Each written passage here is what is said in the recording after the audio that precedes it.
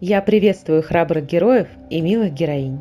Меня по-прежнему зовут Анна Шальнева, и я комьюнити игры Гильдия Героев. Грядущее обновление, которое я вам сейчас покажу, принесет с собой ивент и новых питомцев – медведей. А также вас наверняка порадует новость о том, что в сундуке появится новая пятая вкладка, где можно будет хранить дополнительные ресурсы – а примерно через несколько дней в игре появится акция «Расхитителей сокровищниц», приуроченная к Черной Пятнице. Там вы сможете получить новые тома урона, защиты и скорости 16, 15 и 18% соответственно, знамена для питомцев, полезные ресурсы и души босса. А мы заходим в гости к Барду и освежаем в памяти этот формат ивентов. Я постараюсь быть максимально краткой, ведь такой ивент вам всем хорошо знаком. Вам предстоит крутить праздничную рулетку с разнообразными наградами. Давайте посмотрим на их список. Здесь есть и бустеры, и рейды, и руны, и алмазы, а самое главное – ключи от праздничного сундука. Рулетка вращается за жетоны, их по-прежнему можно получить за просмотр рекламы, проходя ежедневные задания, нападая на гоблина на локациях или приобретя в магазине ивента. Помните, что в режиме автобоя ваш персонаж гоблина бить не станет, это нужно делать руками. Вы все так же можете купить билеты на праздник, серебряный или золотой, и получить за покупку бонусы.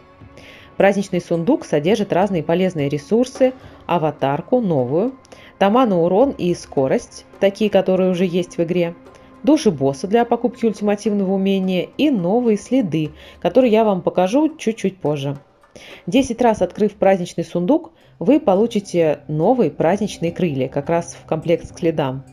Настоящий зимний вариант. Остается выбрать зимний скин города, если он у вас есть, и одеться в красный меховой скин Санты.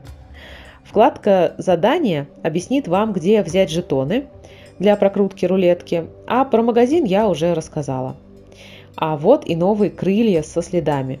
Вы их еще раз увидите – когда я пробегусь по локации с Мишкой и буду показывать работу его умений. А вот, собственно, и он. Сразу обращу ваше внимание на то, что количество яиц для его прокачки вы найдете в инфобоксе под видео.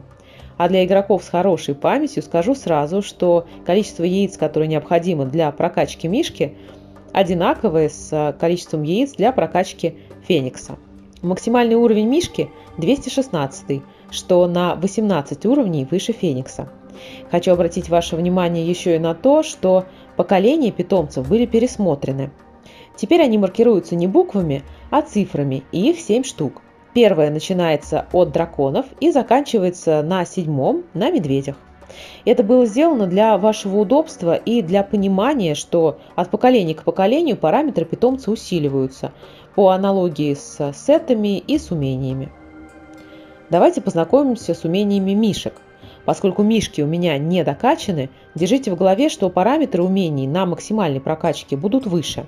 Как и всегда, я не буду читать вам то, что вы можете прочитать сами, поставив на паузу видео там, где вам интересно, согласно стихии, которую вы планируете выбрать. Я лишь кратко скажу, что умений по-прежнему три. Делятся они на дрожь, силу и заточение разного характера, в зависимости от стихии. Способности мишек повышают их урон, замедляют врагов, повышают скорость атаки, влияют на критический рейтинг и на жизнь мишек. Я для себя обычно выбираю стихию света, поэтому буду очень рада получить в сообществах обратную связь, особенно по трем другим стихиям, но и по люме, разумеется, тоже. Я знаю, что есть игроки, которые строго выбирают только одну стихию, даже если внешний вид нового питомца им не очень нравится. Держитесь, я мысленно с вами. Мишки в младенчестве кажутся мне очень милыми, даже жалко их растить. А теперь давайте немного посмотрим на визуал умений на примере Мишки Люми. Я специально замедлю видеоряд, чтобы было понятнее. Геймдизайнеры хотели привнести нотку юмора в умение Мишки, и мы на самом деле искренне надеемся, что вы это оцените.